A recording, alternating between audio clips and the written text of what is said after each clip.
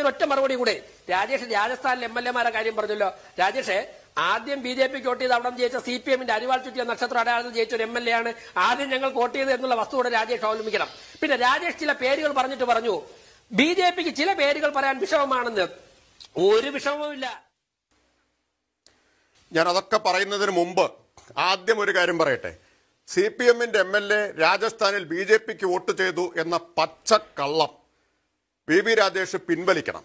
C P I എമ്മിന്റെ ഒരു M L എയും രാജസ്ഥാനിൽ ബി ജെ പിക്ക് വോട്ട് ബി ജെ പി ജയിക്കരുതെന്ന് കരുതി ഒരാൾ കോൺഗ്രസിന്റെ സ്ഥാനാർത്ഥിക്ക് വോട്ട് ചെയ്തു. അതിലാണ് നടപടി സി പി ഐ എം എടുത്തത്. ഇതാണ് രാജേഷിന്റെ രീതി. മനസ്സിലായല്ലോ? ഈ നിങ്ങളെല്ലാം റിപ്പോർട്ട് ചെയ്ത കാര്യമാണത്. ഇതാണ് രാജേഷിന്റെ രീതി. ഇങ്ങനെ ഒരു മടിയുമില്ലാതെ ഒരു കൂസലുമില്ലാതെ ഞെളിഞ്ഞിരുന്ന് കള്ളം പറഞ്ഞുകൊണ്ടേയിരിക്കുന്ന ഒരാളാണ്. അതിന്റെ ഏറ്റവും വലിയ തെളിവല്ലേ ഇത്? മനസ്സിലായില്ലേ? വളരെ ഒരു എന്താ പറയാ പോക്കറ്റടിക്കാരന്റെ വൈദഗ്ധ്യത്തോടെ കൂട്ടത്തിൽ അങ്ങ് കള്ളം പറഞ്ഞു പോവാ. ആരും കോൺഗ്രസിന് വോട്ട് ചെയ്താൽ ബി ജെ പിക്ക് വോട്ട് ചെയ്ത പോലെയാണോ സി വി രാജേഷ്? ഇപ്പോൾ അങ്ങനെയാണോ കാര്യം കാര്യങ്ങൾ? അല്ലല്ല. ആണോ? മാപ്പ് പറഞ്ഞേക്കുന്നു. കള്ളം കോൺഗ്രസ് വോട്ട് ചെയ്യുന്ന ജനങ്ങളെ Rajesh സമ്മതിക്കുകയാണ് C P M C P M ഞാൻ ഒരു കാര്യം. ഞാൻ ഗുജറാത്തിൽ സ്വർണം കൊണ്ടുവരാൻ വേണ്ടി ഏറ്റവും സൗകര്യമുണ്ടെന്ന് ഞാൻ പറഞ്ഞോ? ഗുജറാത്തിൽ സ്വർണം കൊണ്ടുവരാൻ മറുപടി പറയണമല്ലോ V Rajesh? C M P Rajesh നേരിട്ട് ഉന്നയിച്ച ചോദ്യമാണ് അതിന് മറുപടി പറയണോ അല്ല M P M P Rajesh ഞാൻ നേരത്തെ ചോദിച്ചതിന് ആദ്യം മറുപടി പറയട്ടെ. ഷാനി ഷാനി കേട്ടല്ലോ അന്ന് അപ്പൊ ഷാനി പറഞ്ഞില്ലല്ലോ. ഗുജറാത്തിൽ ഏറ്റവും കൂടുതൽ സ്വർണം കൊണ്ടുവരാൻ സാധിക്കുന്ന പോർട്ടുണ്ടെന്ന് ഞാൻ പറഞ്ഞോ? പറഞ്ഞല്ലോ. അതൊന്ന് കൽപ്പിച്ചു കൽപ്പിച്ചേ രാജേഷ് അതിന് ആദ്യം രാജേഷ് അതിന് മറുപടി പറ അതല്ലേ ആദ്യം കഴിഞ്ഞത്? ശ്രീ വി വി രാജേഷ് അത് വ്യാഖ്യാനം എന്നാണ് പറയാവുന്നതെങ്കിൽ ഇപ്പോൾ താങ്കൾ പറഞ്ഞത് വസ്തുതാവിരുദ്ധമാണ്. രണ്ടും തമ്മിൽ വലിയ വ്യത്യാസമുണ്ട് വ്യത്യാസമുണ്ട്. താങ്കൾക്കറിയാമല്ലോ. അല്ല അല്ല താങ്കൾ രാജേഷേ രാജേഷ് പറഞ്ഞ എന്താണോ അത് തന്നെയാണ് ആ- ആ അർത്ഥം തന്നെയാണ് ഞാനും പറഞ്ഞത്. അല്ല ബി ജെ പിക്ക് അതല്ലേ ആദ്യം പറഞ്ഞത്? രാജേഷിന്റെ ആദ്യം പറഞ്ഞു അതാദ്യം ചർച്ച ചെയ്യൂ. അല്ല ബി ജെ പിക്ക് രാജേഷേ ഞാൻ പറഞ്ഞത് ഞാൻ ആദ്യം പറഞ്ഞതിന് രാജേഷ് വ്യാഖ്യാനിച്ചല്ലോ.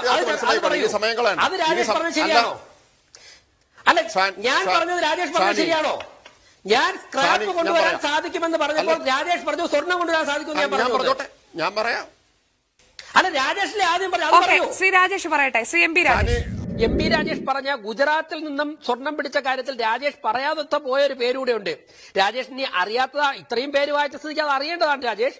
അതായത് ഗുജറാത്തിൽ നിന്നും ഗുജറാത്തിലാണ് ഏറ്റവും കൂടുതൽ ലോകത്തിൽ അല്ല ഇന്ത്യയിൽ ലോകത്തിന്റെ ഏത് രാജ്യങ്ങളിൽ നിന്നായാലും ഏറ്റവും കൂടുതൽ സ്ക്രാപ്പ് കൊണ്ടുവരാൻ വേണ്ടി ഏറ്റവും ഈസി ആയിട്ട് കൊണ്ടുവരാൻ വേണ്ടിയുള്ള നിയമങ്ങളുള്ള ഒരു എയർപോ ഒരു തുറമുഖം ഗുജറാത്തിലാണ്. ഗുജറാത്തിൽ നാലായിരത്തി അഞ്ഞൂറ്റി എഴുപത്തിരണ്ട് കിലോഗ്രാം സ്വർണം സ്ക്രാപ്പ് കൊണ്ടുവരുന്നു എന്നുള്ള ഓർഡർ പ്രകാരം ഗ്രീസൊക്കെ പൊതിഞ്ഞ് സ്ക്രാപ്പിനിടയിൽ തിരികെ കൊണ്ടുവന്നു. ഇനി ഞാൻ പറയാം. ഞാൻ പറയാം. ആ ഞാൻ നേരത്തെ പറഞ്ഞു കഴിഞ്ഞു. സ്ക്രാപ്പിന്റെ മറവിൽ സ്വർണം കൊണ്ടുവരാൻ ഏറ്റവും എളുപ്പമുള്ള സ്ഥലം മുന്ദ്ര പോർട്ടാണ് എന്നാണ് രാജേഷ് പറഞ്ഞത്. അതുകൊണ്ടാണ് നാലായിരത്തി അഞ്ഞൂറ് കിലോ അവിടെ വന്നതെന്നാണല്ലോ പറഞ്ഞത്. മനസ്സിലായില്ലേ? അതും ഇതും ഒരുപോലെയല്ല. നിങ്ങളൊരു. സി പി ഐ എമ്മിന്റെ M L A B J പിക്ക് പറഞ്ഞത് വോട്ട് ചെയ്തു എന്ന് അങ്ങോട്ട് പച്ചക്കള്ളമായി പറയാണ്. നിങ്ങൾ പറഞ്ഞില്ലേ? നിങ്ങൾ പറഞ്ഞില്ലേ? സി പി ഐ എമ്മിന്റെ എം എൽ എ ഇമ്പോർട്ട് ചെയ്യാൻ വേണ്ടി സ്ക്രാപ്പ് ഇമ്പോർട്ട് ചെയ്യാൻ ഏറ്റവും കൂടുതൽ. സൗകര്യമുള്ള പോർട്ടുകളിൽ ഒന്ന് ഗുജറാത്തിലാണെന്ന് പറഞ്ഞു.